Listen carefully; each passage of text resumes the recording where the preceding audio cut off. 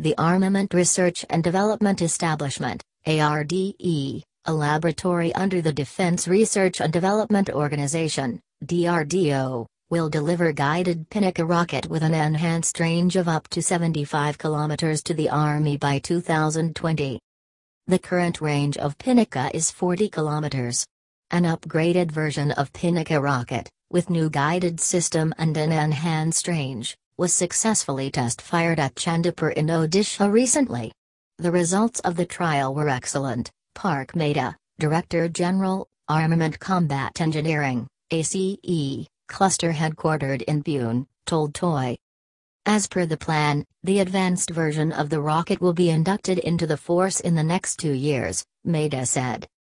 Currently, we are working on the rocket's control and guidance system, which will be perfected in the coming months.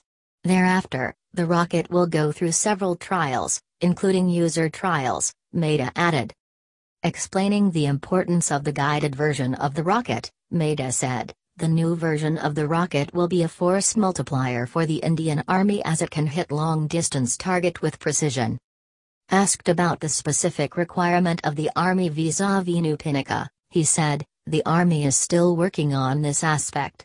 They haven't quoted any specific numbers so far in November last year, the Defense Acquisition Council, DAC, had cleared a request for proposal for six additional regiments of the artillery at a cost of Rs 14,633 crore. A senior army officer told TOI, the advanced version of the rocket will be in small numbers but it will give us an edge over enemies. The mix attack of the rockets will generate the required lethality on the battlefield.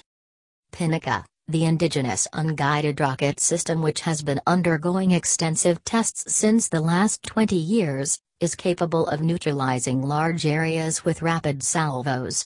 The Army had used it extensively during the Kargil War while hitting the mountain peaks of the enemy. In fact, more than 6,000 Pinaka rockets have been supplied to the Army. The Army has a projected requirement of two lakh rockets.